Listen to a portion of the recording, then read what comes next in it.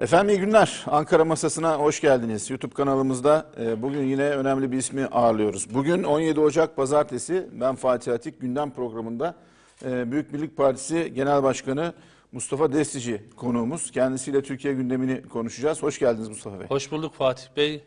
Ee, hem sizlere hem bizleri takip eden, izleyen bütün vatandaşlarımıza da, kardeşlerimize de e, hayırlı haftalar, sağlıklı ömürler diliyorum. Çok teşekkür ediyorum e, yayınımıza katıldığınız için. Saatler şu anda o 13.56'yı gösteriyor. Bir saat boyunca Mustafa Bey ile beraber olacağız.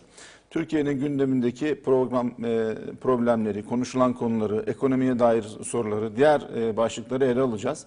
EYT ile ilgili, asgari ücretle ilgili veya diğer konularla ilgili ne e, sorunuz varsa, Mustafa Bey'e iletmek istediğiniz konular varsa sevgili seyircilerimiz hem YouTube kanalımızdan bize ulaşabilirsiniz hem de WhatsApp ihbar hattımızdan bize sorularınızı yönlendirebilirsiniz. Kendisiyle paylaşacağız.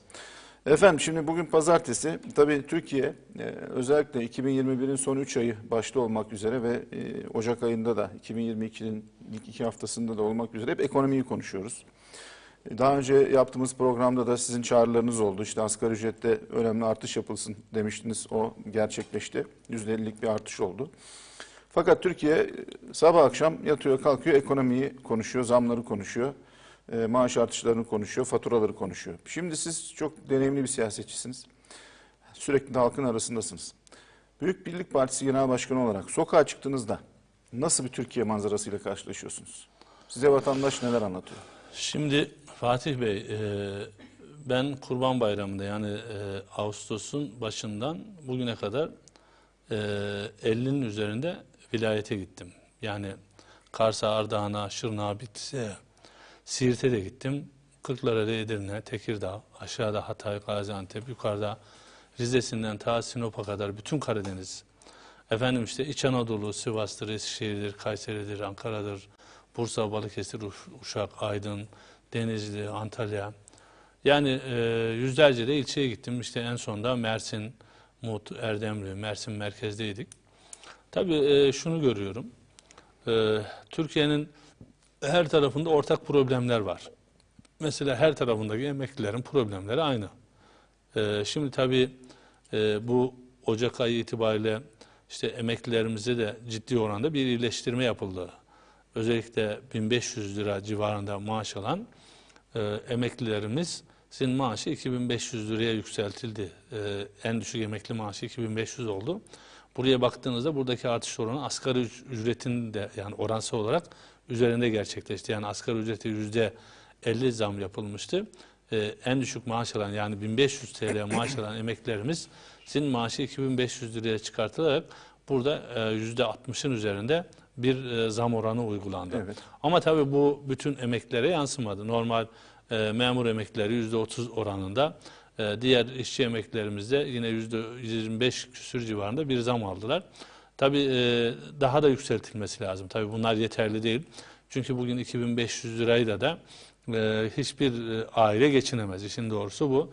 Çünkü e, hayat pahalılığı gerçekten çok hissediliyor. Yani vatandaşımız bunu iliklerine kadar hissediyor. İşin doğrusu bu. Geliri düşük olanlar ya da sabit gelirli olanlar, düşük maaş alanlar ya da küçük esnafımız ya da küçük çiftçimiz, işte emeklimiz bunları hissediyor. Ama diğer tarafta yukarıda da öyle bir kesim var ki bunlar e, tam tersine e, bunu e, hayat pahalılığını hissetmedikleri gibi tam tersine e, daha da yüksek e, kazançlarına da kazanç katıyorlar. Şimdi mesela pazara baktığımızda Ben pazara da gidiyorum, markete de gidiyorum. Bir de alışverişi de kendim yapmayı imkan buldukça özen gösteriyorum ki bileyim yani tam öğreneyim yani biber bir kaç şey liradır, domates kaç liradır, patates kaç liradır, ekmek kaç liradır, efendim işte şeker kaç liradır, nohut kaç liradır. Bütün bunları da ben e, kendim öğreniyorum, kendim görüyorum. Mesela ya e, biber yani şimdi 30 liraya çıkmış biber. Şu bildiğimiz yeşil biber var ya. Evet. ince biber, tatlı biber. Pazarda 30 liraya çıkmış. Şimdi diğer taraftan işte bir patlıcanın kilosu 20 TL olmuş. E, diğer taraftan baktığınız zaman efendim işte bir e, kıvırcığın fiyatı yani 5 liraya gelmiş. Daha önce bunlar 1-1,5 lira olan. Bunlar aslında sadece döviz artışıyla da bunları biz izah edemeyiz. Burada gerçekten müthiş bir fırsatçılık var. Yani şimdi bu biber dediğimiz biber tarlasında 30 lira mı? Hayır 10 lira. Nasıl 30 lira oluyor kardeşim? Nasıl 30 lira oluyor? Ya da mandalina ben gittim işte Erdemli'de gördüm. Kaç lira? 1-1,5 lira. Nasıl 6-7 lira oluyor kardeşim? Yani burada esas çözülmesi gereken mesele bu aradaki bu aracılarla ilgili bir problem var. Yani şimdi burada ne üretici tam istediği gibi kazanabiliyor. Tüketici de çok yüksek maliyetle tüketmek zorunda kalıyor. Arada aracılar bu işi kazanıyor. Tamam efendim işte taşıma ücretleri, ulaşım ücretleri, nakliye ücretleri işte Mersin'den Ankara'ya geliyor, İstanbul'a geliyor, başka yerlere gidiyor. Ya da Antalya'dan çıkıyor işte sebze, meyve, narenciye ya da başka yerlerde yetişen yerlerden Türkiye'nin geneline yayılıyor. Ama bu kadar olmaması lazım. Yani bu kadar arada makasın bu kadar açılmaması lazım diye düşünüyorum. Buraya tabii devletimiz, mecliste kanun da çıktı bununla ilgili, bu stokçularla ilgili, kara borsacılarla ilgili. Ee, burada daha çok üstüne gidilmesi lazım.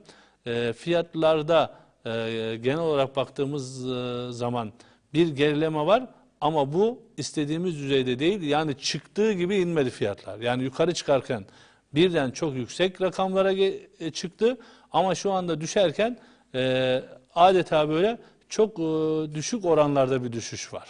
Hatta artış oldu. Yani e, buraya gelen konuklarımıza soruyorum. Şimdi siz faturalardan ve fiyatlardan bahsedince sormam gerekiyor. Yani emekli maaşlarını da konuştuk. Siz bir genel başkansınız, milletvekilisiniz. Siz Evet. e, bu faturaları gördüğünüz zaman elektrik faturasını, doğalgaz faturası ne kadar geliyor mesela size? Siz bir geçim sıkıntısı yaşıyor musunuz?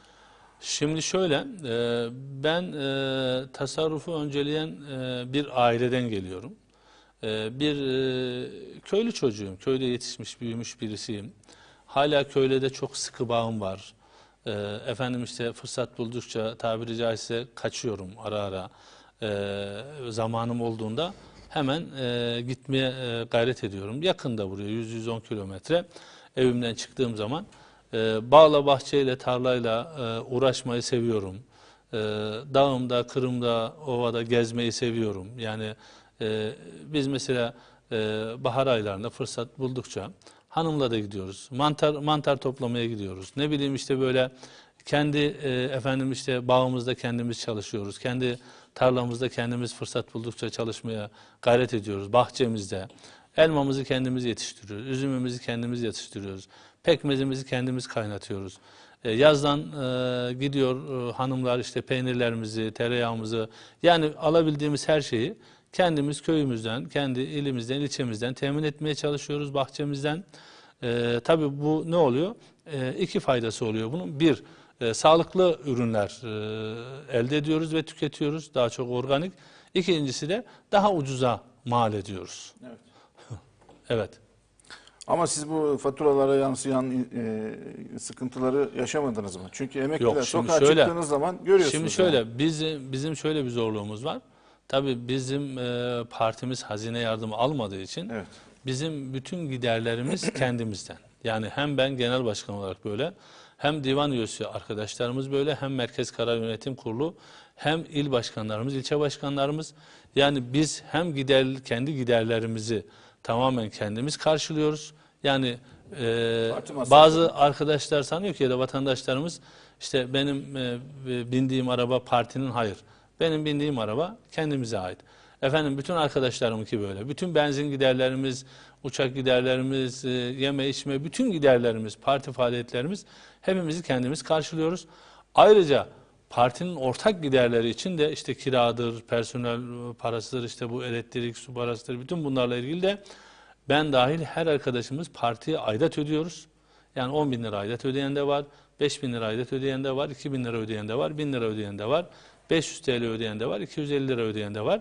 Bütün bu giderlerde kendimiz karşılıyoruz. Ee, Ben mesela aileme de çocuklarıma da her zaman tasarrufu öncelerim. Yani e, mutlaka paramızın hesabını yapıyoruz. Ayağımızı yorganımıza göre uzatıyoruz. Elbette ki Ee, biz şu, şu anda doğalgaz faturası olsun, elektrik faturası olsun, su faturası olsun, e, buralardaki e, fiyat artışları, zamlar elbette ki bizi de ziyadesiyle etkileniyor. E, ailem bilir, çocuklar bilir.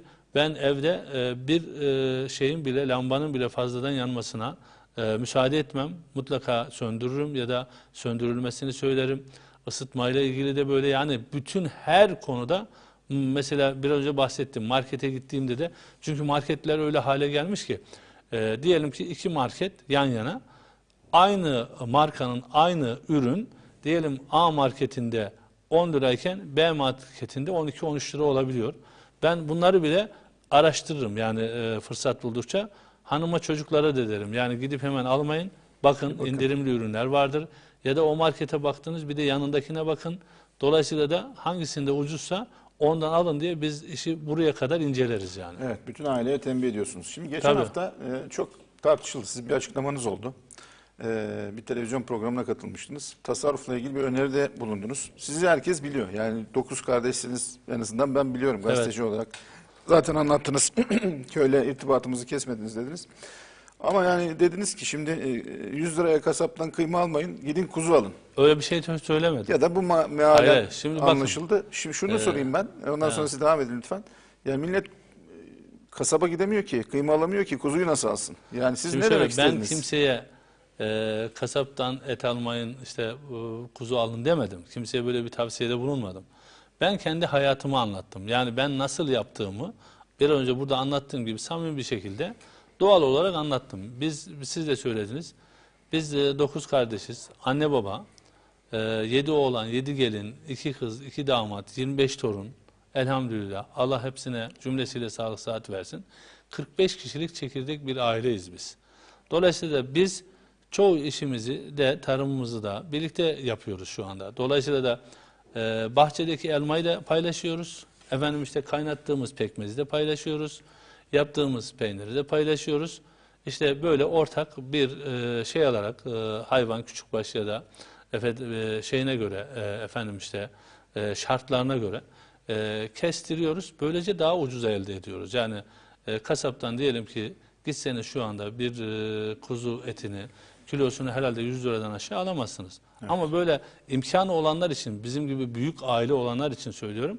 E, bunu siz top kendiniz alıp e, kestirdiğinizde e, dolayısıyla da bunu e, yarısından daha aşağıda fiyata mal edebiliyorsunuz. Tabii bunu herkes yapamayabilir. Ben bunu kimseye de efendim işte bazı e, siyasi parti liderleri ya da sözcüleri de işte bunu ağızlarına dolamışlar. Şimdi bakıyoruz e, işte bir partinin e, genel başkan yardımcısı adam lümpen, seküler, Amerikalarda geylerle, e, efendim işte e, LGBT'lilerle yılbaşı kutluyor. Adam bunu eleştiriyor. Çünkü neden? Sırf amacı eleştirmek. Ya da işte böyle sedefle bezenmiş kabaçlar var. Bunlar, bunlar güya gazeteci yazar. E, ondan sonra yine seküler anlayışı. Bunlar eleştiriyor. E bir bakıyorsunuz e, kim eleştiriyor? E, şu anda e, Türkiye'deki partiler içinde belki de mal varlığı en fazla olan, en zengin olan. Do- Dolayısıyla da daha önce Ekonomi Bakanlığı yaparak Türkiye'yi bu kadar da borçlandırmış olan, Türkiye'nin bugün ekonomik sıkıntısı varsa en büyük pay sahiplerinden birisi olan, kendisi bir çözüm önerisi sunmuyor. Efendim işte geçmişiyle yüzleşmiyor ama bunu eleştiriyor. Buradan kendisine bir kapı açmaya çalışıyor. Kim? Ali Hocan mı diyorsunuz? Evet evet. Şimdi bakın. Halbuki yani bir kere dürüstlük lazım. Benim sözüm ortada. Canlı yayında konuşuyorum. Ben kimseye efendim işte e, kasaptan almayın kuzu kesin demiyorum. Ben kendi hayatımı anlatıyorum. Diyelim ki ben böyle yapıyorum.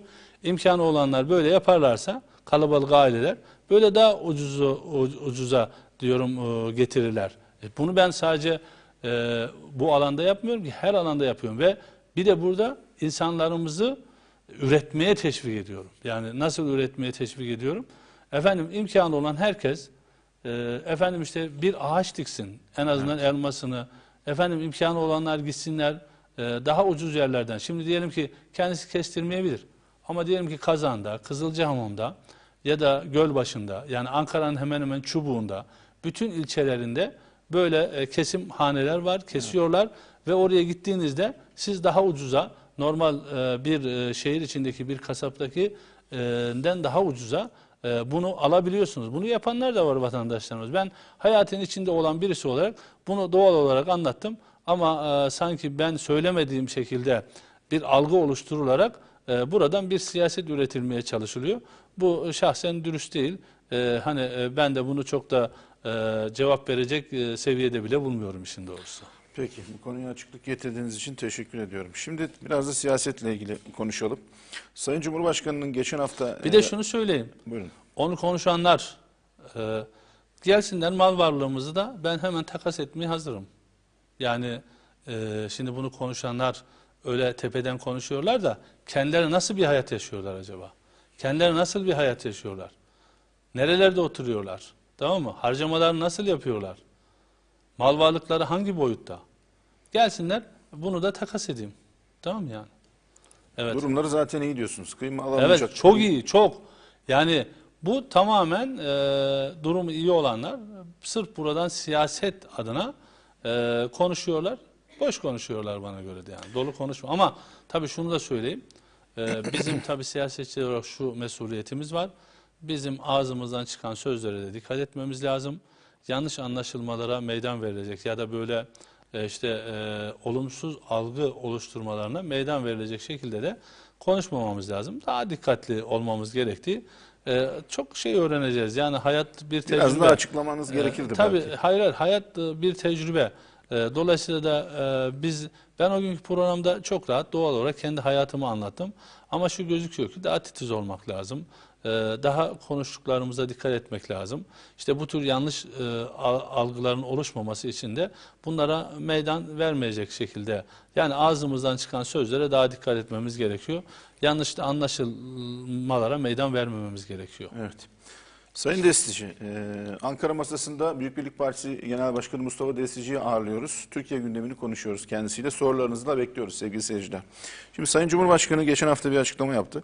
Çok yankı buldu bu. Edirne'deki asıl büyük hesabı İmralı'dakine verecek dedi. Yani e, PKK elebaşı Abdullah Öcalan'ın Edirne'de cezaevinde yatan Selahattin Demirtaş'tan hesap soracağını söyledi. Evet.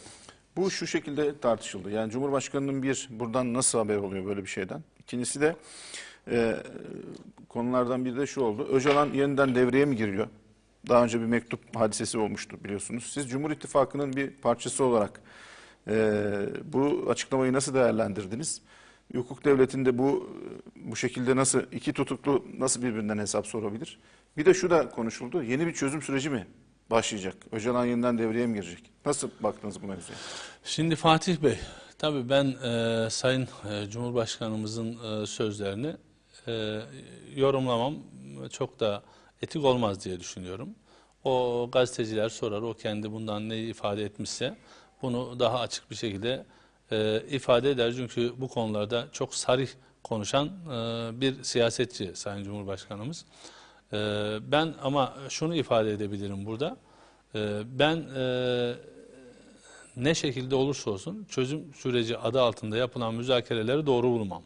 Çünkü terörle mücadele, e, terörle daha doğrusu mücadele edilir, müzakere edilmez. Ben işin bu boyutundayım. Ben çözüm süreci denilen o süreçlerde de bunun doğru olmadığını çok net olarak ifade etmiş bir siyasetçiyim. Bizim şu anda e, Cumhur İttifakı içinde olmamız, Cumhur İttifakı'yla birlikte hareket etmemizin en temel gerekçelerinden e, bir tanesi, bunu zaten çok net söylüyoruz. Devletin bekası, ülkenin bütünlüğü, milletin istiklali ve istikbali için. E şimdi baktığımızda e, PKK terör örgütünün hedefi ne? Direkt devletin varlığını hedefliyor. Evet. Direkt ülkenin bütünlüğünü. Yani şimdi e, Selahattin Demirtaş e, Kürt sorunu diye işte olmayan bir sorunu gündeme getirip buradan ne yapıyor? Buradan şunu yapıyor. Bu sorun diyor statüsel bir sorundur diyor. Yani önce özellik sonra ayrı bir devlet kurmaya kadar gideceğinden bahsediyor. Onun için burada benim asla bir müsamaham olamaz. Partimizin de bir müsamahası yok.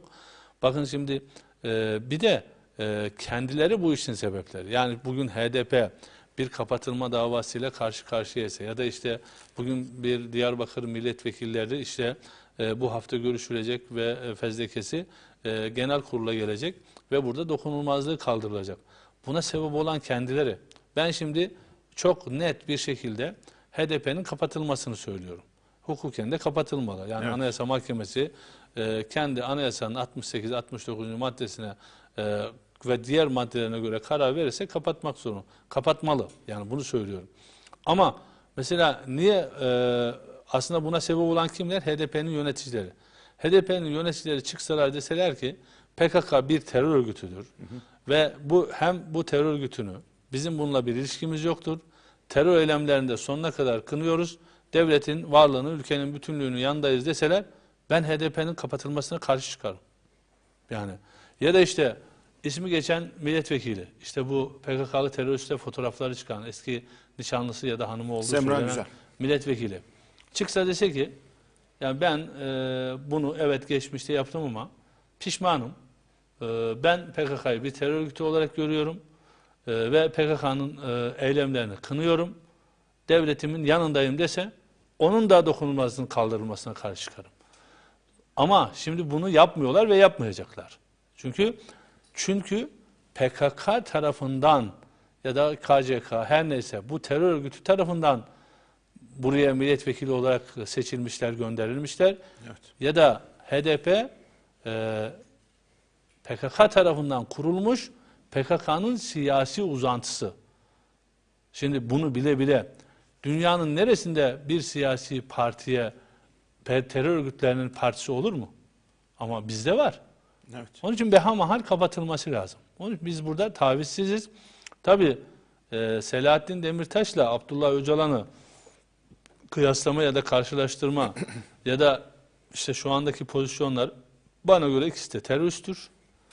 Birisi bizzat terör örgütünün kurucusudur ve bugüne kadar yaptığı bütün eylemlerden sorumludur. Hala bugünkü eylemlerinden de sorumludur. Ve bugün hayatta kalması bile Türkiye Cumhuriyeti Devleti'nin tabiri caizse bir lütfudur. Bize göre idam edilmelidir. Geçmişte de idam edilmeliydi. Bugün de idam yasası getirilerek idam edilmelidir. İkincisi de Selahattin Demirtaş da bir teröristtir. O da PKK'nın siyasi uzantısıdır. 6-7 Ekim olaylarında ayaklanma ve sokağa çıkma çağrısı yaparak eee 37 tane masum insan, ikisi polis, Yasin Börü dahil olmak üzere 37 tane masum insanın katillerinin azmettiricisidir. Şimdi niye bu kadar uzun süre tutuklu kaldı? Evet. Şimdi en son konuşmalardan bir tanesi. Bence kalmaması lazım. Bu yargılama bitirilmeli, bu kadar uzatılmamalı ve cezası kesinleştirilmeli. Daha da gündemden düşmelidir. biliyorsunuz. Tam tahliye olacak, tahliye kararı çıktı. Yeni bir soruşturma açılmıştı. Şimdi bu da gündemden düşmelidir. Yani cezası verilmeli, mahkeme tamamlanmalı, cezası kesinleşmeli ve artık Türkiye'nin gündeminden düşmelidir. Ama cezasını çekmelidir. Ama hükümlü olarak, tutumlu, tutuklu olarak değil. Hükümlü olarak cezasını çekmelidir. Yani 4 senede bir mahkeme bitmez mi? Artık bitsin mahkeme, cezasını alsın ve hükümlü olarak cezasını çeksin. Şimdi siz dediniz ki biz çözüm sürecine karşıydınız. Bu Semra Güzel e, kendisi bir açıklama yaptı. Ben o fotoğrafları e, çözüm sürecinde hükümet bu süreci yürütenler izin verdiği için gidip çektirdim dedi. HDP'liler de aynı şeyi söylüyorlar ve e, muhalefet partileri de dediler ki Kılıçdaroğlu da aynısını söylüyor. aynısını söylüyor. Bunun sorumlusu ve muhatabı Sayın Erdoğan'dır dediler ve hükümetin problemi olduğunu söylediler. Siz bu konuda ne düşünürsünüz? Onu da kabul etmiyorum, doğru görmüyorum. Bakın biz çözüm sürecine karşıyız. Devletin terör örgütüyle müzakere etmesini de doğru bulmuyoruz. Ama devlet görüşse bile normal bir vatandaş gidip terör örgütüyle, terör örgütünün kamplarına gidebilir mi? Orada futbol oynayabilir mi? Efendim orada günlerce kalıp teröristlerle e, bir hayat yaşayabilir mi? E, bu asla. Bunu birbiriyle sapla samanla birbirine Ama Sırrı karıştırmamak Süreyya gerekiyor. Önder mesela o zaman milletvekiliydi. evet. Açıklama yaptı. Beni devlet gönderdi dedi. Şimdi bakın ben devletin gönderdikleri ya da görüştüklerini ben doğru bulmuyorum. Buna rağmen ayrı değerlendirmemiz gerektiğini düşünüyorum hukuksal olarak. Çünkü ortada bir süreç var ve meclisten de belli yasalar çıkartılmış bununla ilgili. Belli Evet, kanunlar çıkartılmış. Şimdi devletin devletle işte e, o sürece aracılık edenleri farklı bir noktaya koyuyorum resmi olarak. Ben kabul etmiyorum bakın bunu söylüyorum. Ama- Vatandaşları da gönderdiler. ama Sayın normal Besiciğim. bir süreçte e, diğer vatandaşları Gidip ikna edin. ayırmak gerektiğini düşünüyorum. bu o, sözde milletvekilini devlet mi göndermiş? Yok o ben vatandaş olarak gittim. E, O Devletin kendi- gönderdiği o, kimse değil. Çok o, işi, işinde, terör örgütünün içinde. Bakın hiç bunları tartışmaya gerek yok. Madem öyleyse çıkacak diyecek ki PKK bir terör örgütüdür. Ee, ben bu terör eylemlerini kınıyorum, terör örgütünü kınıyorum, devletimin yanındayım desin iş bitti. Evet. Evet. Bir de Sayın, Bunu Cumhur- demediği sürece terör örgütünü savunuyor. Sayın Cumhurbaşkanı dedi, çok özür dilerim. Sayın Cumhurbaşkanı dedi ki 14 kişi daha var fezlekeleri mecliste dokunulmazlıkları kaldırılacak. Bir de bunlara dedi devlet para ve yardımı yapmamalı dedi. Sayın e, milletvekili hem devletten maaş alıyor bir de öbür taraftan sizin de gündeme taşıdığınız bir konu var. HDP hazine yardımı alıyor. Şimdi, Şimdi- siz alamıyorsunuz hazine yardımı. Onlar alıyorlar. Ee, Şimdi Fatih bu Bey, nasıl düzenlenecek yani? Büyük bir Burada yok mu büyük burada? bir adaletsizlik ve haksızlık var. Ben söylüyorum iki senedir, daha önce de söylüyordum da son iki senedir çok daha yüksek sesle söylüyorum. Geçtiğimiz 2021 yılı bütçesi görüşülürken mecliste söyledim. Bu seneki bütçe görüşülürken söyledim. Basın toplantılarımda söyledim. Bir kere burada iki tane yanlış var. İki büyük yanlış var. Fark, daha fazla yanlışlar var da birincisi şu. Birincisi Anayasanın 68. maddesi diyor ki siyasi partilere hakça ve yeteri miktarda yardım yapılır. Şimdi bizdeki mevcut uygulama ne hakça ne yeteri miktarda. Bir, hakça olması için bir de seçime girmeye hak kazanmış partilere diyor. Evet. Şimdi burada seçime girmeye hak kazanan partiler değil, e, bir baraj konmuş, bu baraja geçen partiler alıyor. Hazine yardımını da bunlar alıyor, seçim yardımını da bunlar alıyor. Hani bari seçim yardımını seçime katılan partilere adaletli dağıtsalar bir nebze. Ne fark var arada? Arada şu fark var. Birisi hazine yardımı, diğeri seçim yardımı. Diyelim, hadi diyelim bir baraj koydunuz. Daha önce 7 idi, şimdi 3'e düştü. 3'ü geçenler hazine yardımı alır. Bu da adil değil de. Velev ki koydunuz. Ama diğeri seçim yardımı. Şimdi bakın bu sene seçim yok. 645 trilyon girdi 5 partinin kasasına. Toplam. Ki bu partilerin hala hepsinin kasasında kimininkinde 10 trilyon, kimininkinde 50 trilyon, kimininkinde 100-200 trilyon zaten mevcutta para var şu anda. Yani kasasında bu kadar para olana devlet bir daha verdi. Ve 77 trilyon da HDP'ye gitti. HDP'ye gitti. Şimdi biz sivrisineklerle mi uğraşacağız, bataklığı mı yok edeceğiz? Bataklığı yok edeceksek o zaman yapmamız gereken HDP'ye verilen paranın kesilmesi lazım. İki, HDP'nin kapatılması lazım. Yani milletvekilliklerinin, milletvekillerinin dokunulmazlığının kaldırılması doğrudur. Ben de destekliyorum. Yargıya gönderilmeleri doğrudur ama bu yeterli değildir. HDP kapatılmalı, PKK'nın kökü kazanmalı ve dolayısıyla da bataklık tamamen kurutulmalıdır. Şimdi Seçim yardımında 3 katını Seçim mı yardımı bakın seneye seçim olduğu için bütçedeki bu artış oranıyla hesaplarsak yani yüzde 30 civarında artış oluyor her yıl bütçede 25-30 arası. Bu artış gider böyle olursa normal şartlarda hazine yardımı 800 trilyona çıkıyor. Genel seçim olduğu için iki katı da seçim yardımı verecekler. İki buçuk katrilyon para verilecek 5 partiye. Büyük. Halbuki şu o, seçime kaç parti gireceği açıklandı şimdi en son 25. 24. 24 25. Diyelim ki bunların 20'si katıldı seçime. Burada bir adaletli dağıt. Bunu da yapmıyorlar. Yine 5 parti alacak o parayı. Bir yeterli miktarda mı peki? Yeterli miktardan kasıt nedir? Yeterli miktardan kasıt şudur. Yani partilerin sermaye gruplarına muhtaç olmasınlar. İşte parası olanın borusu ötmesin. İşte iş adamları partileri e, tahakkümleri altına almasınlar, baskılamasınlar diye kendi faaliyetlerini sürdürecek kadar bir yardım. E şimdi Allah aşkına 645 trilyon para 5 partiye. Bu çok yüksek değil mi ya? Ya en azından ben hepsine söyledim. Dedim ki bir, gelin bu pandemi döneminde bu parayı hazinede bırakın. İşte zorda kalan esnafa verilsin dedim. Geçen sene esnaflar çok gündemdeydi. Evet. Bu sene işte emeklimize verilsin. Efendim işte tablet alamayan öğrencilerimizden bahsediliyor. Bir hanımefendi genel başkanımız dedi ki ben bağıra bağıra ağlamak istiyorum. Dedim ki kimse ağlamasın, üzülmesin. Gelin bu 645 milyona 645 bin tane tablet internetleriyle birlikte alınır ve verilir. Bu problem çözülsün. Ee, çünkü israf oluyor bu paralar. Yani Evet. işte sokaklarda, orada, burada. Şimdi hiçbirisi buna yanaşmadı. Hiçbirisi cevap vermedi. Hiçbirisi bu konuyu konuşmuyor. Yani o her konuda çatır çatır konuşan muhalefet partileri bu konuya gelince hiç seslerini e, çıkarmıyorlar. Tabiri caizse ağızlarını açmıyorlar. Yani bu 645 değil de 65 trilyon olsa yetmez mi 5 partiye? Yani biz mesela hiçbir kuruş almadan kendi yağımızla kavruluyoruz. Kendi arkadaşlarımızın aidatlarıyla partimizin faaliyetlerini sürdürüyoruz.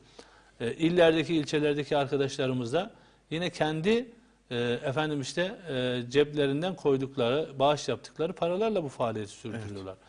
Bir de HDP'ye bakın günlerce söyledim. Hepsi duymazdan geldiler. Yani dedim ki şimdi HDP kapatılma davasıyla yüz yüze en azından kapatılma davası sonuçlanana kadar bu para bloke edilsin Evet. ve davanın sonucu beklensin dedim. Anayasa Mahkemesi'ne de çağrı yaptım.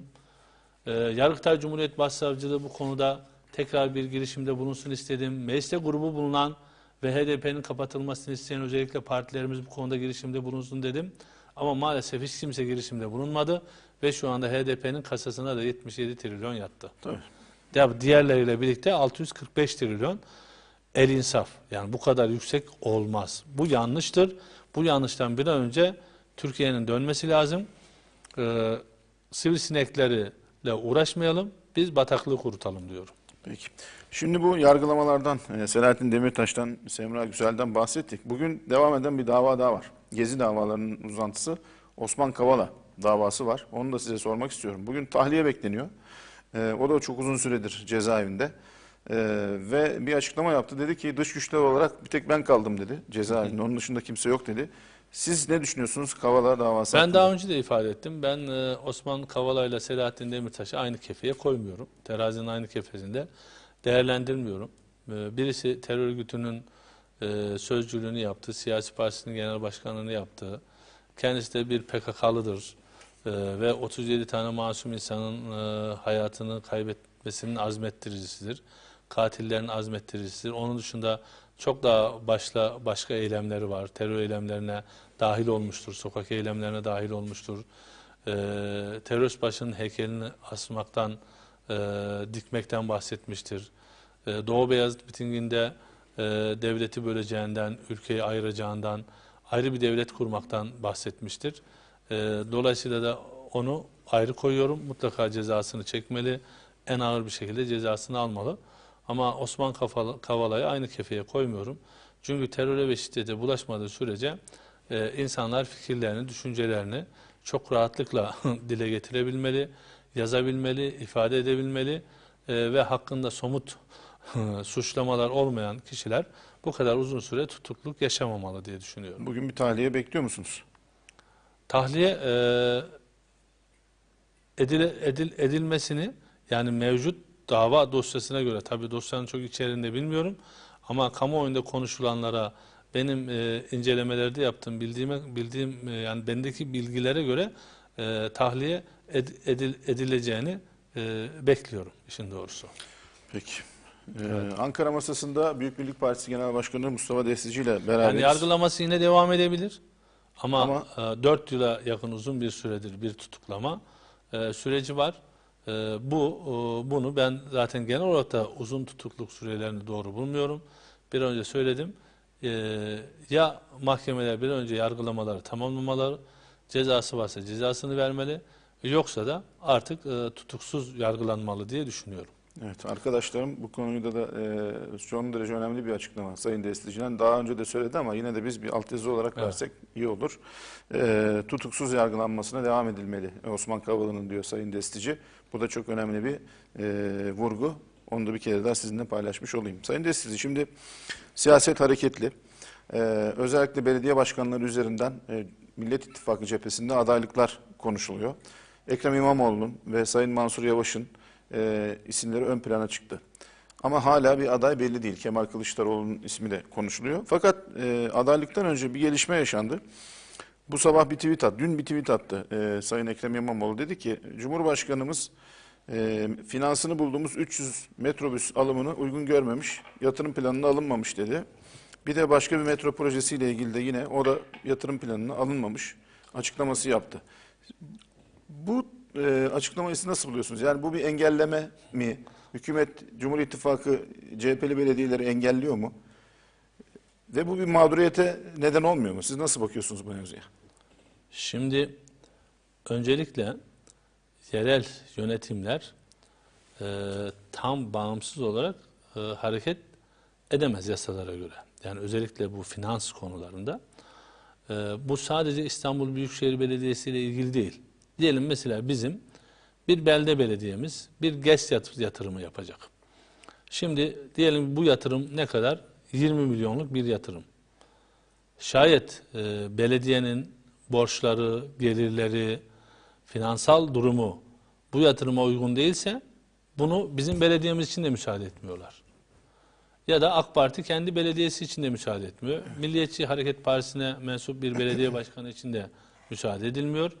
Ya da Cumhuriyet Halk Partisi ya da İyi Parti için ya da Saadet Partisi'nde ki bir belediye başkanı için ya da Demokrat Parti'deki bir belediye başkanı için de yapılmıyor. Yani bu sadece İstanbul Büyükşehir Belediye Başkanlığı'na ya da belediyesine yönelik bir e, uygulama değil. Bu belediyenin borcu ne kadar, bütçesi ne kadar, geliri ne kadar, bunun altından kalkabilir mi? Bu rentable bir yatırım mıdır?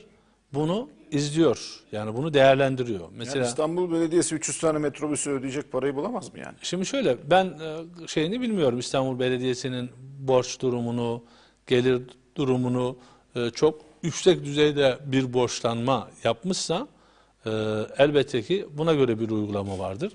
Çünkü diğer belediyeler için de bu uygulama geçerli. Bunun çok içeriğini bilmiyorum ama e, şunu biliyorum. e, İstanbul Belediyesi ya da Cumhuriyet Halk Partisi'ne mensup belediyeler bu konularda yapamadıkları, çözemedikleri meselelerde de tamamen topu merkezi hükümete atma gibi bir siyaset geliştirmiş durumdalar.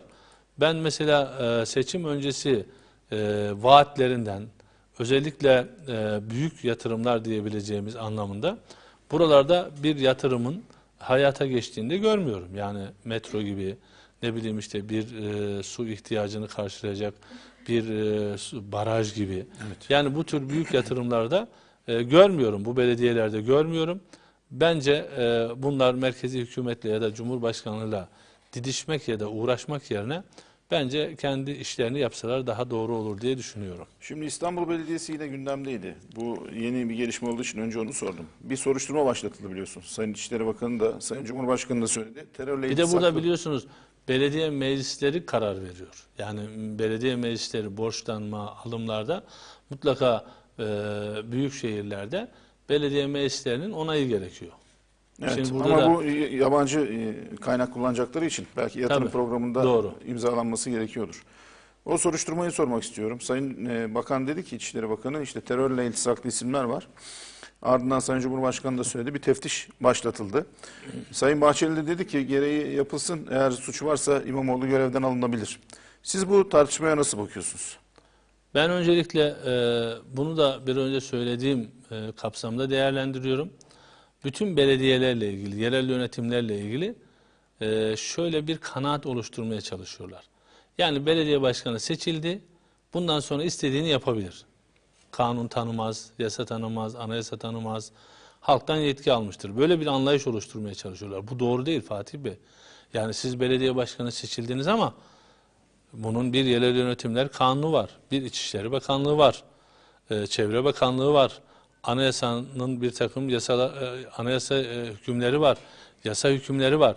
Şimdi hangi belediye ile ilgili olursa olsun. Benim de şu anda mesela belediyelerimden soruşturma geçirenler var. Müfettişler var. Tabii bu sadece e, Cumhuriyet Halk Partili e, belediyeler ya da İstanbul Belediyesi için geçerli değil ki. Yani bizim de şu anda e, belediyelerimiz var ve bu belediyelerde soruşturma geçirenler var. Ben biliyorum ki AK Parti belediyesi olup da soruşturma geçiren de var. Diğer partilere mensup olup soruşturma geçirenler de var. E şimdi İstanbul Belediyesi ile ilgili de e, bir şikayette bulunmuş ya da bir tespit yapılmış. Yani bu belediyeye alınan e, seçimden sonra alınan kadrolarla ilgili, işçilerle ilgili bunların içinde terörle iltisaklı olan insanlar olduğu noktasında ki İçişleri Bakanlığımız, e, kıymetli bakanımız e, Süleyman Bey e, yani hangi bakanımız olursa olsun durup dururken e, efendim işte hiç ortada bir şey yokken bu kadar ismi, bu kadar sayıyı telaffuz eder mi? Yani İçişleri Bakanı gibi tecrübeli bir bakan bunları yapar mı? Elinde bilgi, belge olmadan konuşur mu? Ama Şimdi gidip alması gerekmez mi? Yani polisin. Ankara'da her gün FETÖ operasyonu yapılıyor. Şimdi şöyle Kimseye mutlaka onlarla ilgili alıyorlar. de onlarla ilgili de mutlaka şu anda soruşturma sürüyordur. Alma işi artık savcılarla alakalıdır. Yani İçişleri Bakanlığı biliyorsunuz bakanlığın birisini bir yerden alma gibi bir yetkisi yok. Yani e, polis emniyet araştırmasını yapar, savcılığa aksettirir. Ondan sonrası savcının görevidir. Belki de önümüzdeki günlerde bu operasyonlar e, savcıların incelemeleri neticesinde, soruşturmaların e, tamamlanması neticesinde yapılacaktır. Ama bundan dolayı niye almıyorsunuz diye İçişleri Bakanlığı suçlayamazsınız ya da Adalet Bakanlığı suçlayamazsınız. Burada bir süreç var. Bu süreç işletiliyor. Bir de e, şimdi ben e, bir bilgiler, belgeler var.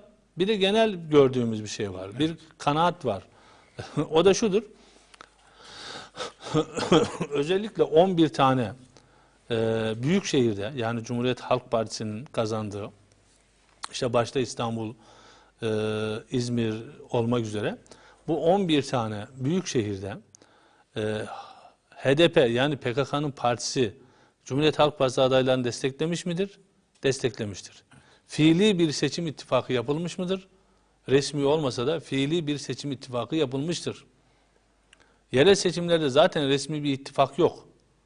İyi Parti ile Cumhuriyet Halk Partisi hangi şartlarda ittifak yapmışsa HDP ile de o kadar olmasa da benzer şartlarda ittifak yapmıştır.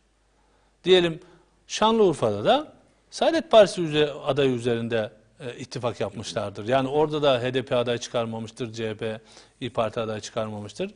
Saadet Partisi'nden aday olan kişiyi desteklemişlerdir. Ya da Adıyaman'da.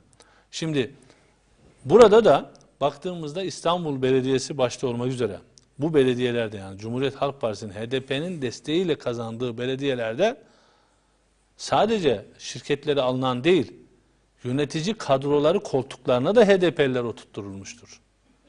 Şimdi Türkiye'de başbakanlık yapmış ya da İçişleri Bakanlığı yapmış parti genel başkanlarımız çıkıp şu anda sabıka kayıt belgesinden bahsediyorlar. Bir, sabıka kayıt belgesinde yani ihal kağıdında ceza kesinleşmişse yazılır. Evet. Süren soruşturmalar yazılmaz. Mahkeme bile yargılanıyor bile olsa yazılmaz. Yani Mahkeme kararı gerekiyor yani. Sicile geçmesi için. yargılama bitmiş, Yargıtay kararını onamış olması gerekiyor. Yani bugün Selahattin Demirtaş da gidip ihal kağıdı alabilir. Cezası kesinleşmediği için. Zaten onun için aday olmuştur Cumhurbaşkanı adaylığı. E Peki Selahattin Demirtaş şu anda PKK'nın bir terör örgütü üyesi değil midir? Üyesidir. E şimdi bunun iyi hal kağıdında yazmaması onun terörist olduğunu ya da iltisaklı olmadığı anlamına gelmez ki. İkincisi bir de Peki bu ilgili Şirketlere- devam eden soruşturma var mı? şirketlere şirketlere işçi alırken zaten sabıka kaydı zorunlu da değil. Zorunlu da değil. Yani diyelim ki siz şimdi firmanıza e, işçi alacaksınız. İhal kağıdı istemek zorunda değilsiniz. Böyle bir zorunluluğunuz yok. Belediye şirketleri de bu kapsamdadır. İlla e, ihal kağıdı istemek zorunda değildir. İster tedbir olsun diye ama hepsinin için istedi mi bunu da bilmiyoruz. Ben istememiştir diye düşünüyorum şahsen. Evet. Bir de eğer siz HDP'den ya da HDP'nin kurdurduğu, PKK'nın kurdurduğu işte ö, sözde derneklerden liste alıyorsanız zaten size oradan kim gelecek? Elbette ki PKK sempatizanları gelecek. Terör örgütü iltisaklılar gelecek. Şimdi bunu daha önceki kayyum atanan e, belediyelerde gördük. Van Belediyesi'nde, Diyarbakır Belediyesi'nde, Mardin ya da sahil belediyelerde, Batman Belediyesi'nde. Yani hem terör örgütü e, mensuplarını ya da onun iltisaklarını ya da yakınlarını işe almışlar. Hem de e, kamu kaynaklarını oraya aktarmışlar. Bunlar sabit. Yani e, mahkeme kararlarıyla da sabit hale gelmiş. Bunun için ben bu soruşturmayı doğru buluyorum. Ve burada her belediye için bu yapılabilir, yapılıyor. Pek çok belediye ile ilgili soruşturmalar var şu anda. Yani bu soruşturmadan niye rahatsız oluyorlar? Eğer bir e, efendim işte yanlışları yoksa, gerçekten terörle iltisaklı olan kimseyi belediyeye almamışlarsa o zaman bir rahatsızlık duymalarına gerek yok. Soruşturma biter ve e, hem de e, bu suçlamalarda ya da bu ithamlar ya da soruşturulan konularla ilgili e, somut e, bilgiler, belgelere e, ya da şahıslara ulaşılamazsa e, İstanbul Belediyesi bundan bir zarar görmez. Sayın Cumhurbaşkanı Ankara Belediyesi'ni de söyledi. Mansur Yavaş için daha önce de böyle şeyler çıkmıştı. İşte su sayaçlarını PKK'lılar okuyacak falan diye. Siz Ankara'da olduğunu düşünüyor musunuz böyle bir şey? Ben şimdi e, burayla ilgili somut bir bilgim yok ama bendeki kanaat şu. HDP'nin desteklediği bütün belediyelerde bunların var olduğuna inanıyorum. Bendeki kanaat bu. Ha İstanbul'da ya da İzmir'de bunu daha aleni, yapa, aleni yaparlarken bizzat HDP'den listeleri alırlarken ya da HDP'ye e, yakın, PKK'ya yakın derneklerden alırlarken belki e, Ankara e, Belediyesi'nde ya da diğer belediyelerde yani sağ kökenli olan belediye başkanlarının olduğu belediyelerde de belki de Cumhuriyet Halk Partisi e, üzerinden yani onlardan gelen listeler üzerinden almış olabilirler. Yani Mansur Yavaş'tan eski partiliniz yani. Hayır geç- ben şöyle diyorum bak. Ee, bilerek ben sağ kökenli belediye başkanlarının bu işin içinde olacaklarına ihtimal vermiyorum. Ama diyelim ki partilerden gelen listeler içerisinde var olduğunu düşünüyorum diyorum. Anladım. Evet. Partilerden gelmiş olabilir diyorsunuz. Tabii. Tamam. Peki iki belediye başkanı da konuştu. Yani e, hepsinin araştırılması lazım. Onu söylüyorum. İki isim de Cumhurbaşkanlığı için adı geçiyor. Millet İttifakı cephesinden. Siz Mansur Yavaş'ı da Ankara'da yaşıyorsunuz. Buradaki faaliyetleri daha yakından e, takip etmişsinizdir. Üç yıllık performansını nasıl buluyorsunuz? Eski e, dava arkadaşınız da diyebiliriz. E, Cumhurbaşkanlığı adaylığı için nasıl değerlendiriyorsunuz isminin geçiyor olmasını? Şimdi bir kere Ankara olsun, İstanbul olsun, efendim işte diğer e, yani Millet İttifakı'nın kazandığı büyük şehirlere baktığımızda e, güzel algı oluşturuyorlar. Yani mesela e, çiftçilere mazot dağıtıyor. Şimdi acaba bu mazotu 100 kişiye mi veriyor? Ankara'da yaşayan bütün çiftçilere mi veriyor? Bu göstermelik efendim işte e, bir algı oluşturmak için bu işler yapılıyor ya da bir ara ilk pandemi başladığı dönemlerde işte vatandaşın bakkal borçları kapatılıyordu. Acaba kaç tane vatandaşın bakkal borcu kapatıldı?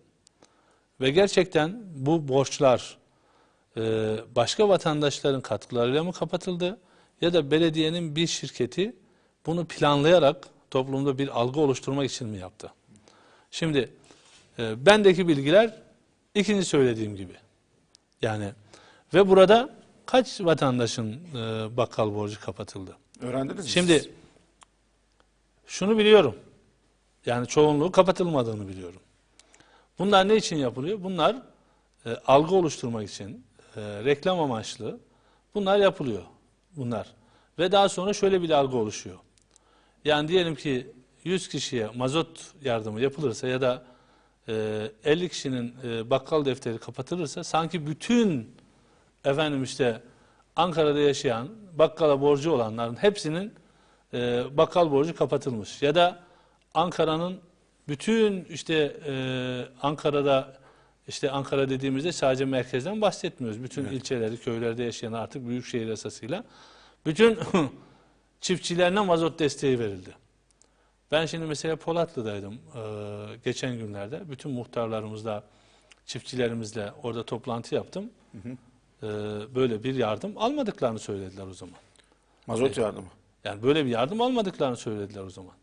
Şimdi ondan sonra verilmişse bilmiyorum benden sonra. Ama benim yaptığımda böyle bir yardım verilmediğini söylediler.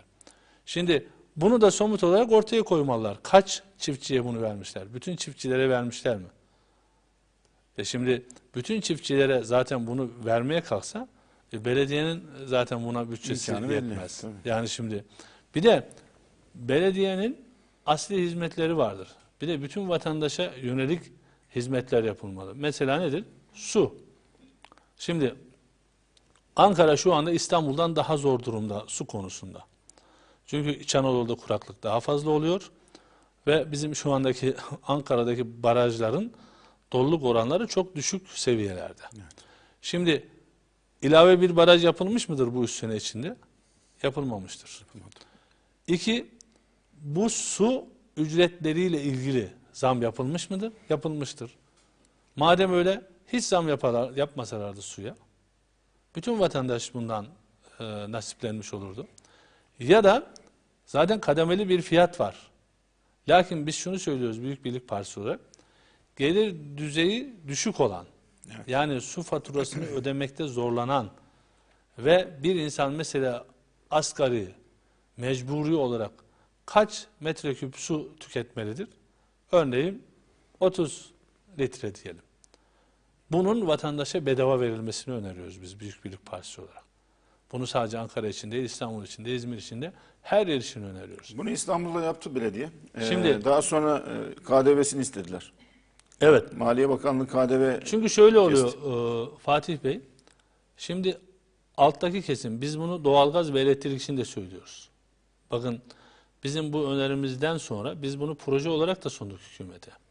Bizim bu önerimizden sonra şimdi 2022 yılı e, merkezi yönetim bütçesinde e, elektrik faturasını ödeyemeyen vatandaşlarımız için 2.6 milyarlık bir bütçeye bir rakam ayrıldı evet. bir pay ayrıldı. İki, şimdi doğalgazla ilgili mesela daha önce kömür yardımı yapılıyordu. Ee, kömür kullanmayan, doğalgaz kullanan işte ihtiyaç sahibi vatandaşlarımızla ilgili de 1000 TL civarında e, yıllık bir doğalgaz yardımı yine e, devreye sokuldu. Şimdi burada da yapılması gereken şu, su gibi, elektrik gibi işte asli ihtiyaçlar, özellikle su daha hayati bir şey. Yani elektrik, doğalgaz da mutlaka önem, önemli ama su çok hayati biliyorsunuz. Yani İnsani hem temizlik hakkı. açısından hem e, gıda olarak yani e, içme suyu anlamında. Şimdi bunun asgarisinin yani bir insanın hayatını devam ettirebilmesi için gerekli olanın biz vatandaşa parasız verilmesinden yanayız. Bunu da organize edecek olanlar, e, devreye sokacak olanlar, uygulamaya sokacak olanlar belediyelerdir. Bunu yapması gerektiğini düşünüyorum. Benim e, şu anda e, Ankara'da yaşayan, 78'den beri Ankara'da yaşayan bir vatandaş olarak bu 3 yıllık süre içerisinde Ankara'da dişe dokunur e, bir yatırım görmediğimi de üzülerek ifade ediyorum. Keşke yapılsa biz de desek ki işte Ankara'ya bu yapıldı desek.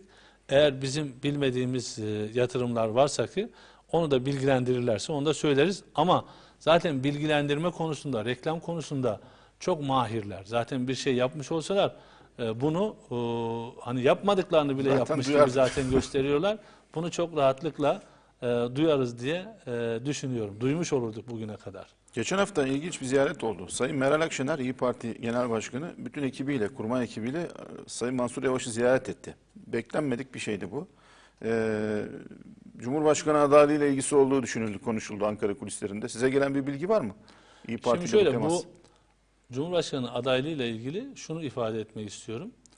Ben Kemal Bey'in e, ne Ekrem Bey'in ne de Mansur Bey'in adaylığına soğuk baktığını biliyorum. Öyle düşünüyorum. E, Aday olamazlar, Bunun iki, iki sebebi zaten. var. Birincisi belediyeler çünkü aday olmaları için istifa etmeleri gerekiyor. İstifa ettiklerinde Ankara ve İstanbul belediye başkanlıkları e, Cumhur İttifakı'na geçiyor. AK Parti'ye geçiyor büyük çoğunluğu olduğu için. Şimdi e, birinci sebep bu. İkinci sebep de Kemal Bey ısrarla devlet tecrübesinden bahsediyor. Evet. E, bürokrasi tecrübesinden bahsediyor. E, bu iki belediye başkanı arkadaşı da bu anlamda Kemal Bey yeterli görmüyor. Bunu da çok net bir şekilde ifade ediyor. Binaenaleyh e, ben bu sebeplerden dolayı Kemal Bey'in kendisinin adaylığını daha yüksek bir ihtimal görüyorum. Çünkü Millet İttifakı'nın oluşması, e, bu noktaya kadar gelmesinde de e, emek sahibi olan, e, her türlü kendi cephelerinden baktığımızda tutup işte İyi Parti'ye 15 milletvekili vermekten tutun da işte bu yerel yönetimlerdeki işte şu anda e, kadroların e, 3-4 parti arasında e, hatta diğer partilere de belediye imkanlarının tamamen sunulmuş olması Evet. şu anda yani Cumhuriyet Halk Partisi'nin elindeki özellikle büyükşehir belediye başkanlıklarının belediyelerin imkanları tamamen e, Cumhur Millet İttifakı'na e, içinde olan ya da içinde olma pozisyonda olan partilerin e, önüne serilmiş durumda. Yani bütün bu imkanlar e, bu partilere sağlanıyor. Yani salon mu lazım oldu veriliyor, işte pankart mı lazım oldu asılıyor. Efendim işte yemek mi lazım oldu veriliyor.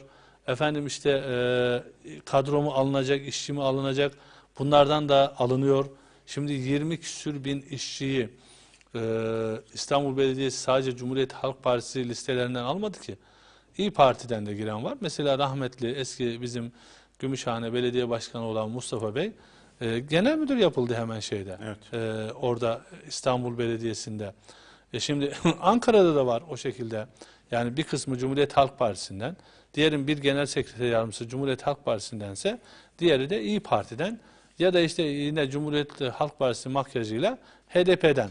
E şimdi bunların hepsi var. E, Bunların hepsini görüyoruz. Bunları inkar edemezler ki. Yeri geldiğinde bunları isim isim de söyleriz. Sizce kim aday olacak? Şimdi Millet İttifakı genişliyor. Sayın Davutoğlu bir açıklama Ben yaptı. Kemal Bey'in adaylığını yüksek ihtimal olarak görüyorum. Yani e, bir aksilik olmazsa ben Millet İttifakı'nın adayı olarak e, Kemal Bey'i görüyorum. E, Kemal Bey olacaktır diye düşünüyorum. Kazanabilir mi sizce? Şimdi tabii ki kim aday olursa olsun seçimi Cumhur İttifakı kazanacak. Yani ben bir Cumhur İttifakı'nın üyesi olarak Cumhur İttifakı'nın üç paydaşından e, bir siyasi partinin, Büyük Birlik Partisi'nin genel başkanı olarak elbette ki Cumhur İttifakı'nın kazanacağına inanıyorum. Ve Cumhur İttifakı'nın kazanması için de e, şu anda elimizden gelen bütün gayreti gösteriyoruz. Çünkü AK Parti, Milliyetçi Hareket Partisi ve Büyük Birlik Partisi'den oluşuyor Cumhur İttifakı. Evet. Şimdi kim aday olursa olsun yani ister Kemal Bey olsun ister başka ismi zikredenler olsun biz Cumhur İttifakı'nın Cumhurbaşkanı adayının e, Cumhurbaşkanı seçimini kazanması ve parlamentoda da Türkiye Büyük Millet Meclisi'nde de yine Cumhur, Cumhur İttifakı partilerimizin milletvekili sayısının çoğunluğu elde etmesi için çalışıyoruz ve bunun da gerçekleşeceğine ben inanıyorum. Muhalefet diyor ki bizim adayımız belli değil. Tamam Cumhur İttifakı bize aday soruyor. Cumhur İttifakı'nın adayı kim? O da belli değil diyorlar. E, Cumhur İttifakı'nın adayı Cumhurbaşkanımız Sayın Recep Tayyip Erdoğan. Bunu daha önce ilan etti. Sayın Devlet Bahçeli de bunu söyledi. Kendisi de bunu söyledi. E, Cumhur İttifakı'nın dolayısıyla bir aday problemi yok. Ama Millet İttifakı'nın aday problemi var. Şöyle aday problemi var. Cumhuriyet Halk Partisi'nin genel başkanının kafasındaki adayla İyi Parti Genel Başkanı'nın kafasındaki aday aynı değil. Ya da Saadet Partisi Genel Başkanı'nın kafasındaki aday profili aynı değil.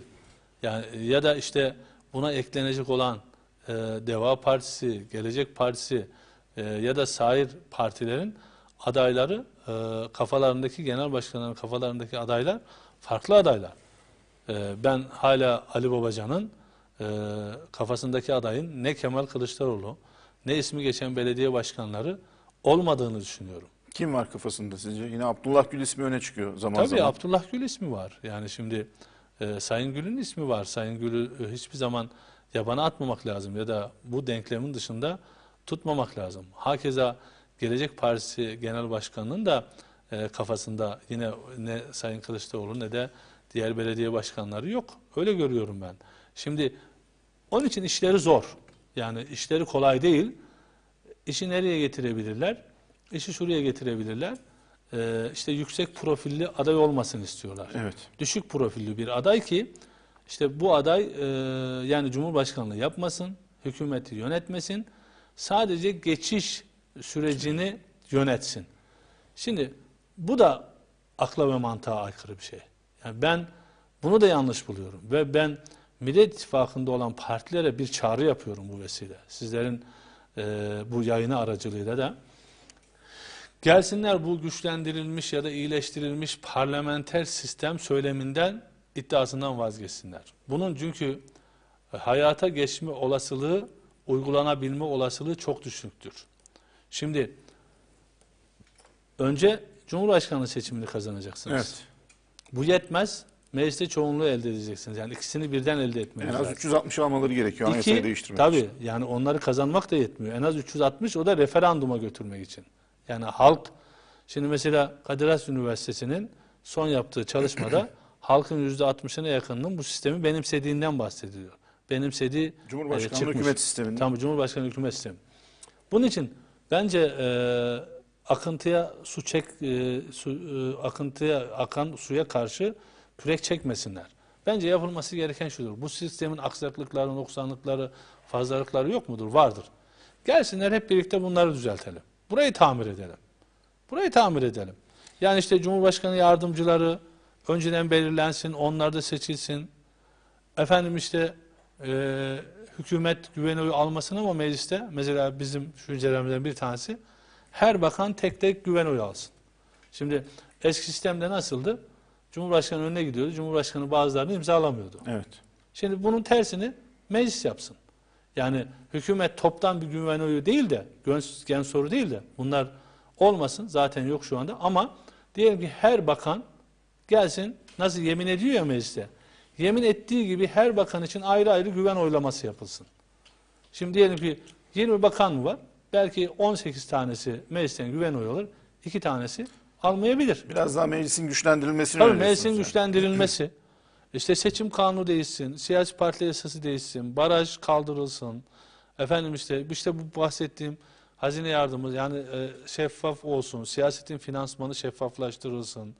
İşte ne teklif ediyorlarsa bir masa etrafında gelsinler, konuşalım ve bunları e, ortak bir e, akılla e, bu problemleri çözelim. Böyle Şimdi bir temas Sayın var mı? Cumhurbaşkanımızın Sayın Destici? Sayın Cumhurbaşkanımızın yeni anayasa e, teklifine evet demiş olsalardı bunların hepsini konuşma imkanı bulurduk.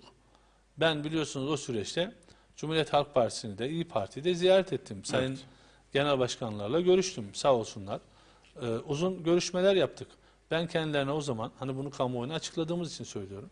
Ön yargılı olmamalarını yani samimi görmeseler dahi bu teklifi ön yargılı olmamalarını ve e, çalışmalardan kaçmamalarını tabiri caizse uzak durmamalarını söyledim. E, gelin herkes kendi teklifini koysun. Anlaştığımız maddeleri ortak götürelim. E, gerekiyorsa eğer anlaşamazsak bazı maddeler üzerinde onu da alternatifli olarak vatandaşa sunalım. Vatandaş hangisini kabul ederse bu hayata geçsin, bu uygulamaya konsun dedim. Şimdi yapılması gereken bu. Evet. Çünkü bakın orada e, zaten şu anda daha seçim gelmeden, seçim olmadan, daha seçimi kazanmadan bir zorluk yaşıyorlar. Yani kimin cumhurbaşkanı olacağı bile e, nin bile ismi e, oradan e, tartışılır hale geliyor. Cumhur İttifakı'nın durumu ne Sayın Destici? Şu anki anketler yaptırıyorsunuzdur veya AK Parti ile de görüşmelerinizde paylaşılıyordur. Şu anda birinci turda aday olsa Sayın Cumhur Cumhurbaşkanı İttifakı kazanabilecek şu durumda. E, Millet İttifakı'nın önündedir. E, Cumhur İttifakı zaten geçtiğimiz seçimlerde de seçim öncesinde e, ilk turda e, barajı geçiyor, e, böyle kıl payı geçiyor gibi sonuçlar çıkıyordu. Şu anda da kıl payı şeyin aşağısında gözüküyor. E, yani e, 50'nin altında gözüküyor. E, 1-2 puanla. Ben e, bu süreç içerisinde seçime kadar bunun toparlanacağına e, ümit ediyorum. Toparlanacaktır diye inanıyorum. Çünkü buradaki en büyük e, problem yani vatandaşın e, bir kısmının başka bir partiye ya da başka bir ittifaka geçmese bile kararsız noktasında duruyor olmasının en önemli sebebi hatta yegane sebebi diyebiliriz şu anda ekonomi. Evet. Ekonomide inşallah 2022 yılında büyük bir toparlanma olacak. İhracatımız şu anda tarihi zirvesinde. Bu daha da artacak. Dış ticaretimizde ih- ihracatla ithalat arasındaki fark kapanacak. Ee, ve turizmde de normal bir mevsimi yaşayacağız inşallah. Normal bir sezonu yaşayacağız. Ee, başta Azerbaycan ve e, Körfez ülkeleri olmak üzere e, Libya'da dahil pek çok e, müteahhitlik işlerimiz var, pek çok hizmet işlerimiz var. Buradan gelecek gelirlerle birlikte ben e, bu sene 14 milyar ki en düşük seviyelerden bir tanesi gerçekleşen yani 2021 yılı cari açığı inşallah 2022 yılında biz cari fazla vereceğiz. Ekonomi Ee, toparlanacak bakın bu diyorsunuz. dövizdeki artışın işte bu hayat pahalılığının e, iki temel sebebi var. Birisi cari açık yani bizim dövizdeki yükselişin e, sebeplerinden bir tanesi. Bir diğeri de e, bütçe açığı. Şimdi bu ikisi kapatıldığı zaman hem döviz stabil ve aşağı doğru gidecektir. Hayat pahalılığı ortadan kalkacaktır. Çünkü bu dengelemeyi yaptığınızda hayat ne kadar pahalanmıştır? İşte yüzde 50 pahalanmıştır. Verdiğiniz zaman yüzde 50'yi zaten çalışanınıza, emeklinize, asgari ücretlinize zaten bunu siz e, hayat pahalılığına ezdirmemiş olursunuz vatandaş. Yani bunu çözmek kolaydır. Önemli olan e, düşük enflasyon, düşük faiz e, ve düşük kur yani TL'nin değerlenmesi bunları sabit hale getirebilmek ve o, sürekli haline getirip yani istikrar. Evet. Önemli olan istikrar. Yani hem siyasette istikrar, hem yönetimde istikrar, hem de ekonomide istikrar. Bunu sağladığınız zaman zaten bu problemlerin e, büyük bir çoğunluğunu çözmüş olursunuz. Vatandaşın rahatlamasıyla birlikte de ben e, Cumhur İttifakı'nın e, kaybettiği ya da kararsız pozisyona geçen oylarının tekrar Cumhur İttifakı hanesinde, havuzunda toplanacağına yürekten inanıyorum. Bakın biz Büyük Birlik Partisi olarak bu ayın 29'u Evet. bizim partimizin 29. kuruluş yıl dönümünü e, biz kutlayacağız. 29'unda Ankara'da bir program, 30'unda İstanbul'da e, geniş katılımlı programlar düzenleyeceğiz. E şimdi bir önce bahsettim. E, bütün vilayetlerimizi geziyoruz, ilçelerimizi geziyoruz. Vatandaşımız bir kere hükümetin, e, Cumhur İttifakı'nın devletin varlığını, ülkenin bütünlüğünü, milletin istiklalini ve istikbalini koruma noktasındaki politikalarından yüzde yüz memnun. Evet. Yani bizim terörle mücadelemiz, Suriye'nin kuzeyine yöneltilen harekatlar, Libya'da bulunmamız, Azerbaycan'la birlikte Karabağ'ın işgalden kurtarılması, işte Karadeniz'de gazın bulunması, e, efendim işte e, Doğu Akdeniz politikası, Kıbrıs politikası, bütün bu politikalarla ilgili vatandaşımızın bölücüler hariç, yani PKK sempatizanları hariç, terör örgütlerine yakın olanlar hariç, halkımızın yüzde doksanı bu politikalardan memnun. Şimdi halkın e, geriye kalan sadece nedir? Ekonomi. He, yok mu eğitimden şikayeti olanlar, işte e, ne bileyim e, başka alanlardan tarım, hayvancılık, bütün bunlar üretimle alakalı, bütün bunlar ekonomiyle alakalı.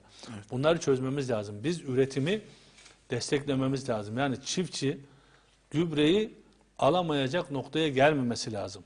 Yani gübrenin fiyatı anda alamıyorlar ama. 3-4 katına çıkmaması lazım. Alıyor, pahalı alıyor. Bunu gerekiyorsa devlet, bakanlık, tarım kredi faizsiz verecek. Yani çiftçiye ya çiftçiye faizle e, kredi olur mu? Üretiyor adam, üretiyor. Bir de daha üretmeden bu olmaz. Üretsin bir adam. Üretsin. Çıkan mahsulüne bak devlet olarak.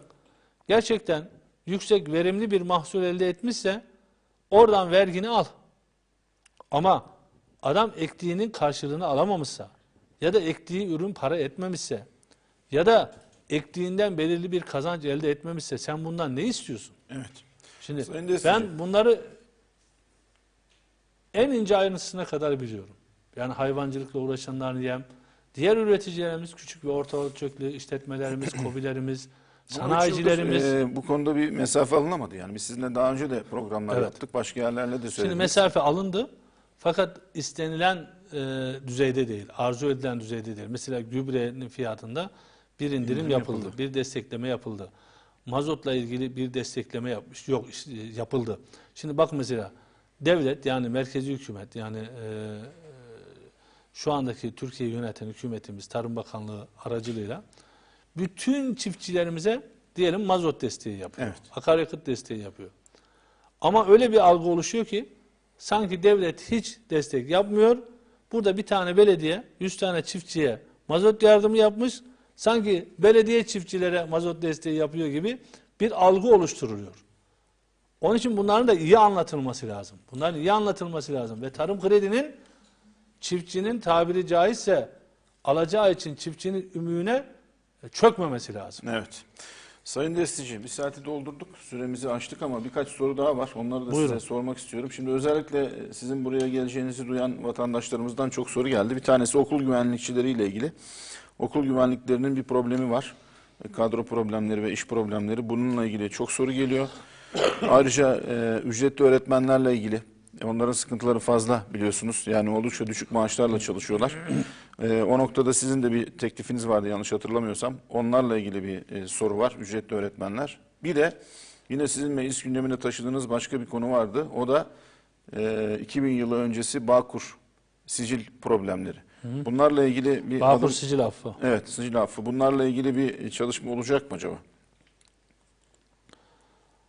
Şimdi öncelikle MEP güvenliklerinden başlarsak bunlar TYP yani toplum yararı proje kapsamında çalıştırılıyorlar. Evet. Ee, ve belli bir e, yıl çalışabiliyorlar. Daha sonra bir başka vatandaşımız burada çalışıyor ve sezonluk yani okul açıldığı sürece çalışabiliyorlar. Ama biz Büyük Birlik Partisi olarak öncelikle bu deneyimli arkadaşlarımızın e, okullarımızda kalıcı hale gelmesini istiyoruz. Çünkü çocuklarımızın güvenliği her şeyin üzerindedir. Ee, özellikle de bu okul çevrelerindeki işte uyuştur- uyuşturucu satıcılarıyla işte kötü alışkanlıkları çocuklarımıza serdetmek isteyenlerle mücadele kapsamında da bunu çok önemli görüyoruz. Bunun mücadelesini veriyoruz, çalışmalarını yapıyoruz bununla ilgili? verdik. Ee, Biz e, bunu da e, konuşuyoruz. Hükümetle, gerekli yetkililerle de konuşuyoruz. Ee, İnşallah burada bu toplum yararı proje devam edecek. Ama biz istiyoruz ki her okulumuzda en az e, okulun büyüklüğüne göre bazılarında bir güvenlik görevlisi yetebilir, bazılarında üç olur, bazılarında beş olur. Buna göre bir çalışma yapılması lazım. İkincisi ücretli öğretmenler. Ben geçtiğimiz hafta e, Milli Eğitim Komisyonu'na da özellikle de gittim. E, biliyorsunuz genel başkanlar e, komisyon çalışmalarına katılmazlar. Ama ben özellikle de gittim öğretmen kökenli bir eğitimci olduğum için. Burada hem ücretli öğretmenlerle ilgili düşüncelerimi hem PİKTEZ öğretmenleriyle ilgili hem normal e, şu andaki sözleşmeli ya da kadrolu öğretmenlerimiz, atanama bekleyen öğretmenlerimiz bütün bunlarla ilgili düşüncelerimi orada paylaştım. Biz ücretli öğretmenleri, tabii şu anda ücretli öğretmenler e, aslında bir meslek grubu değil. Lakin e, şu andaki sayıları itibariyle böyle bir hal aldı. Yani 80 binin üzerinde ücretli öğretmen var şu anda. Ve, Ve bu öğretmenlerimiz bu öğretmenlerimizin önemli bir kısmı başka bir iş yapmıyor. Başka bir işte çalışmıyorlar. Eskiden şöyleydi Fatih Bey. Ücretli öğretmenlik diye bir e, meslek yoktu. Yani bir meslek haline gelmemiş. Sayı bu kadar yok. Diyelim ki bir ilçede e, din kültürü dersi öğretmeni yoksa müftü gelir, derse girer, ücretini alırdı. Ya da kaymakam ya da işte maliye müdürü gelir e, ya da işte e, asker gelir, milli güvenlik dersine girer. iki saat derse girmişse efendim işte kaç lira? 25-50 liradan 50 lirasını alırdı. Yani o ücret için gelmezdi. Onun bir iş yap, işi vardı. Evet. O sadece ekstradan gelirdi diyelim. Ama şimdi şimdiki ücretli öğretmenlerimizin tamamına yakını normal bir öğretmen performansıyla çalışıyorlar. Yani normal bir öğretmen, kadrolu bir öğretmen haftada kaç saat derse giriyorsa o kadar saat derse giriyor, yazılı kağıda okuyorlar. Efendim bütün faaliyetleri yerine getiriyorlar. Bütün görevleri yerine getiriyorlar. Ama şu anda aldıkları maaş 2000 lirayla 3000 lira arasında girdikleri ders sayısına göre. Biz diyoruz ki bunların hepsinin kadroya bir anda alınmayacağını herkes biliyor. Yani bu bir bütçe meselesi, imkan meselesi. Bir de diğer tarafta atama bekleyen öğretmenlerimiz var sınava girmiş. Onlar da kendi atamalarına öncelik verilmesini istiyorlar haklı olarak. Ama biz burada şunu yapabiliriz. Bu normal okullarda çalışan öğretmenlerin aldığı e, ek ders ücretiyle bu dışarıdan gelen e, ücretli öğretmen dediğimiz öğretmenlerimizin aldıkları ders ücreti e, aynı olmazsa yani bunlar en az iki katına çıkartılması lazım ki şu anda 2500 lira alıyorsa e, en azından asgari ücretin üzerine çıkarak 4500-5000 lira gibi bir rakam almaları Yani gerekiyor. açlık sınırının altında bir Tabii, rakam. Yani e, 2000 lira ile kimse yaşayamaz bu memlekette. Ya işte Söylediğiniz rakamlarla yükseltilmesi Ya şart. şu anda en çok mağdur olan kesimlerin başında geliyorlar. Ben bunu e, defaten her fırsatta söylüyorum. Bununla ilgili kanun teklifimiz de var. İkincisi de daha önce bir uygulama olmuş. 5000 kişi kadroya alınmış e, ücretli öğretmenlerimizden. Yine burada KPSS'de yeterli puanı almış, e, tecrübe kazanmış, belli bir yıldır bu görevi yapanlar arasından yine böyle bir sayıda tahtitli bir kadro verilebilir. Ama bu atama bekleyen normal öğretmen atamalarının e, ayrılan e, şey dışında, e, imkan dışında. Yani oraya ayrılmış bir sayı var diyelim 15 bin 21 yıllık. Onun dışında bir kontenjan yani onların kontenjanında dokunmadan Bununla ilgili Ayrı bir kontenjan. Bakanlıkla ya da Tabii ben görüşüyorum, sürekli görüşüyorum. Zaten bizim görüşmelerimiz neticesinde hem mevcut bakanımız Mahmut Bey'in hem e, önceki ba- bakanımızın Ziya Bey'in e, de bu konuda e, ilgi göstermeleriyle bunlar bunun da yarısını alıyorlardı. Yani burada yine biz yüzde yüz bir artış sağlattırdık. Daha önce 1000-1200 lira alıyorlardı. öyle mi? Tabii tabii. Yani iki sene öncesinde 1200 lira alıyorlardı. Yani e, şimdi dolayısıyla biz burada bir sonuç aldık. Yani yüzde yüze yakın bir sonuç aldık ama bu da yeterli değil. Ben bunu söylemek istiyorum. Bağ kurullarla ilgili Bağ kurullarla ilgili sicil affıyla ilgili de bir bizim e, kanun teklifimiz var. Bunun da takipçisiyiz çünkü burada da gerçekten bir mağduriyet var. Bunun da ortadan kaldırılması lazım. Siz sormadınız mesela Fahri Kur'an kursu öğreticiliği yapan, imam hatiplik yapan kardeşlerimiz var. E, bunların da yine e, kadro talepleri var haklı olarak. Biz Büyük Birlik Partisi olarak bunların da takipçisiyiz. Yani biz nerede bir mağduriyet ya da nerede bir haklı talep varsa biz Büyük Birlik Partisi olarak hem mecliste hem Cumhur İttifakı içerisinde hem de kamuoyunda bunların takipçisiyiz ve e, netice aldıklarımız da oluyor. Ama yüzde yüz hepsinden netice alamadık ama bunlardan da netice almamız için elimizden gelen bütün gayreti gösterdik ve göstermeye devam edeceğiz. o gruplardan bir tanesi de EYT. EYT'lilerle ilgili bir beklenti var. Ee, EYT'lilerle Akbaşoğlu ilgili da bir bizim- açıklama yaptı. Bir Cumhur İttifakı'nın bir çalışması olacak mı? E, ne demiş Emin Akbaşoğlu? Bu yıl içinde Bakan Bey'le beraber açıklayacağız. Güzel haberi vereceğiz Tamam. EYT'lilere demiş. Ben zaten onu e, önceden ifade etmiştim E, ve e, kademeli de olsa e, bir çözüm bulunmasını ısrarla ifade ediyorum. E, bunun bütçeye maliyetinin çok yüksek olduğundan bahsediyorlar. Lakin ben e, bütçenin kaldıramayacağı bir maliyet olmadığını düşünüyorum. E, ve burada e, bir hak mağduriyeti var. 99 öncesinde yani 99 yılındaki hükümet bu mağduriyeti getirmiş. Evet. Aslında bu AK Parti hükümetlerinin ya da Cumhur İttifakı'nın e, yaşattığı bir mağduriyet değil. Koalisyon hükümeti Şimdi tabi ANAP e, DSP hükümeti. E şimdi burada e, ben şunu söylemek istiyorum. E, vatan devlet yani vatandaş işe girerken devlet demiş ki şu kadar gün prim şu kadar yıl çalışırsan emekli olursun bunları tamamladığında. Sonra tabiri caizse maç içinde kural değiştirmiş. Ben bunu bir haksızlık ve adaletsizlik olarak görüyorum. Başından beri ve bunun nasıl 3600 ek gösterge inş- inşallah bu yıl içinde çıkacak. Ben emeklide yaşa takılanların da ki ben de takılmış 3 sene bunu beklemiş, tecrübe etmiş birisiyim. Bununla ilgili de mutlaka bir çözüm bulunması lazım. Kademeli bir geçiş yapılması lazım emekliliğe. İkincisi de şu anda bunlar e, sağlık hizmetlerinden faydalanmaları. Bir de mesela ikinci bir işte çalıştıklarında evet. Emeklilik e, durumları bozuluyor. Yani o da büyük bir haksızlık. Yani şimdi diyelim ki siz EYT'lisiniz. Evet öyleyim 99 zaten. öncesi- Ben emekli olamadım. henüz. Tamam, işe başlamışsınız. Şimdi 99'dan önce işe başlayanların emeklilik e, hakları farklı.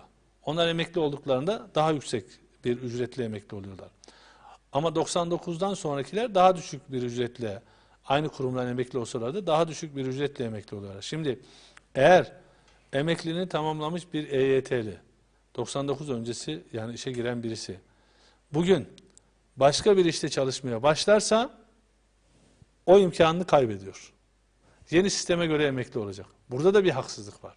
Evet. Bunun da düzeltilmesi lazım. En azından bu insanların evlerine ekmek götürmeleri için e, karşılaştıkları zorlukların ortadan kaldırılması lazım ve hakları olan emekliliğinde verilmesi lazım. Sayın Destici çok teşekkür ediyorum. Ben Ee, teşekkür büyük- ediyorum Fatih Bey. Çok sağ olun. Süremizi aştık. Bir saat diye konuştuk ama bir saat 15 dakikayı e, bulduk. Çok çok teşekkür ediyorum. Olsun bir dahakine açıklamalar için. 45 dakika konuşuruz, ödeşiriz. Sağ olun. Bir dahaki programa yine bekliyoruz sizi. İnşallah. Sevgili seyirciler Ankara masasında bugünkü konuğumuz Büyük Birlik Partisi Genel Başkanı Sayın Mustafa Destici'ydi. çok geniş yelpazede sorularımızı yanıtladı. Kendisiyle ilgili tasarruf tedbirleri üzerinden ve yaptığı tavsiyeler üzerinden yapılan eleştirilere de cevap verdi. Bir sonraki programda yine bekliyoruz. Bir ay sonra olmazsa belki daha kısa sürede kendisini burada yeniden ağırlamak istiyoruz. Burası bir demokrasi meydanı. Sadece Destici değil, Sayın Destici değil tüm parti liderlerini programımıza davet ediyoruz. Sizin sorularınızı gördüğünüz gibi yöneltiyoruz. Şimdilik bugünlük bu kadar. Bir sonraki programda yeniden görüşmek üzere. Hoşçakalın.